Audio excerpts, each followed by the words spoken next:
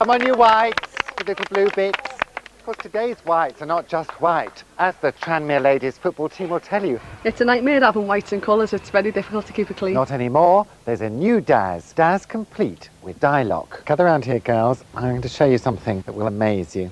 So, take them out. Look, It really does work. It's amazing. why is it amazing? Because it's staying white. Now you try it. Get your kit off. so what do you think? Yeah, I'm well impressed. The colours stayed sharp and the whites have stayed white. That's new Daz Complete with dye lock. Helps lock in colours for even whiter whites. Bit of makeup, you look all right.